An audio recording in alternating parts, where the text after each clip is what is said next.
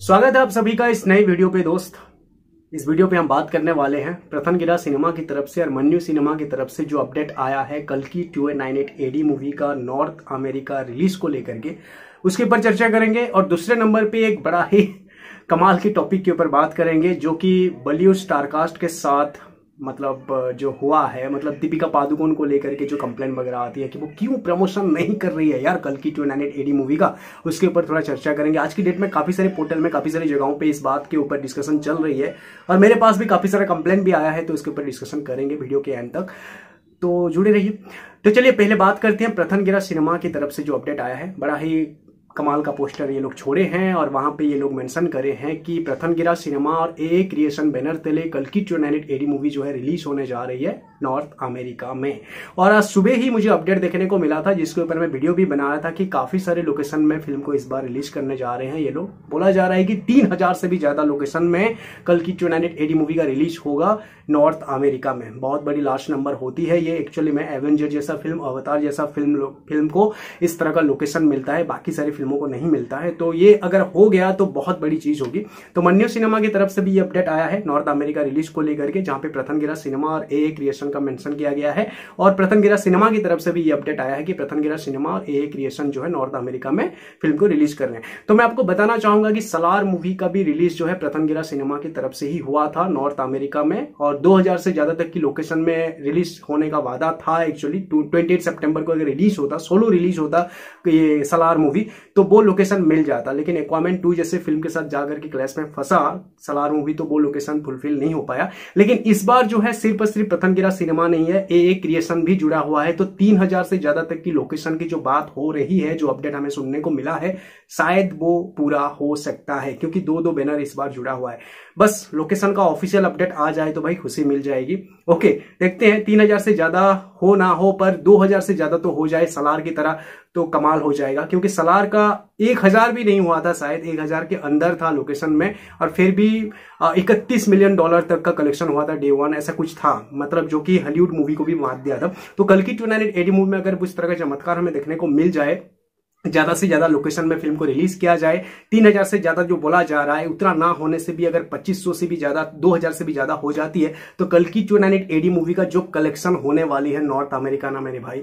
बहुत ही ज़्यादा ज़बरदस्त होगा। इस बार दिख रहा है, क्योंकि इस बार ऐसा कुछ कंपटीशन नहीं है, कोई बड़ी मूवी नहीं है हॉलीवुड में, है फ़िल्में पर इतनी बड़ी मूवी नहीं है, जो कि सभी का जो इंतज़ार रहता है डेडपुल जैसा। तो ऐसा कुछ नहीं है। ओके तो उम्मीद हम कर सकते हैं। बस लोकेशन का ऑफिशियल अपडेट आ जाएगा, तभी मज़ा आएगा। दो दो बैनर है तो फील हो रहा मतलब फीलिंग्स आ रही है बिलीव हो रहा है कि हो भी सकता है, ज़्यादा से ज़्यादा लोकेशन मिल भी सकता है। देखते हैं क्या हो रहा है आगे।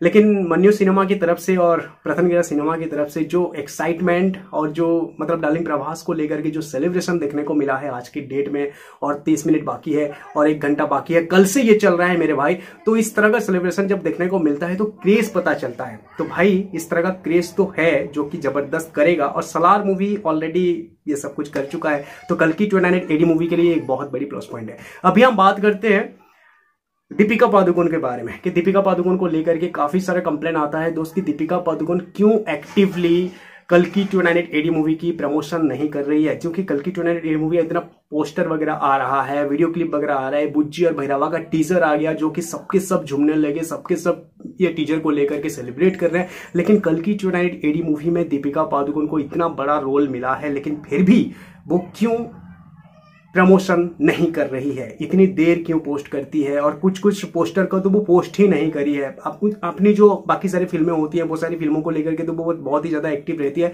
लेकिन इसके साथ क्यों नहीं? ओके तो इसे लेकर के आप चर्चा बनी हुई है आज के डेट में। गाइस मैं आपको बताना चाहूँगा एक्चुअली बाहुबली टू के बाद डार्लिंग प्रभास और मतलब डार्लिंग प्रभास वर्सेस बॉलीवुड, ये एक चला है मेरे भाई ओके बॉलीवुड वर्सेस प्रभास जो है, वो बाहुबली टू के बाद चला है, आप लोगों को पता है। जब कल की टू एडी मूवी के बारे में हमें अपडेट देखने को मिलता है कि दिशा पटानी, अमिताभ बच्चन सर और दीपिका पादुकोण जैसे एक्टर एक्ट्रेस आ करके कल की टू एडी मूवी के स्टारकास्ट में शामिल है और बहुत ही क्रुशल किरदार में है बोल करके जब सुनने को मिला था पहली बार, पहली दफ़ा तो उस टाइम पे कुछ प्रभास के फैंस लोग जो है ना, नाराज़गी दिखाए थे कि साउथ से एक्टर्स लेना चाहिए बॉलीवुड से क्यों ले रहे हैं? कुछ ऐसा। और पहले तो ये भी सुनने को मिला बॉलीवुड का फ़िल्म है, ये अच्छा नहीं होगा, कुछ ऐसा। बाद में लोग अच्छी तरह से जानने लगे कि नहीं, ये साउथ की फ़िल्म है, वो लोग आ रहे हैं।